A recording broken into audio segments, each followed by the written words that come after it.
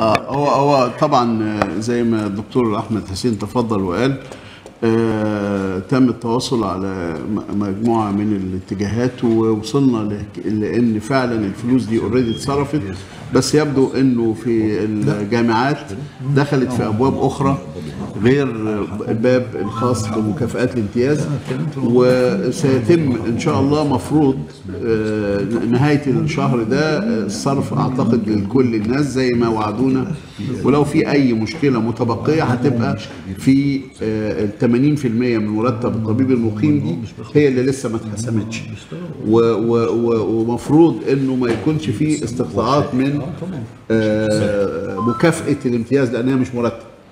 ده ده, ده الموضوع اللي قيد النقاش لغاية دلوقتي. وإن شاء الله ربنا يسهل يبقى فيه أخبار كويسة بإذن الله.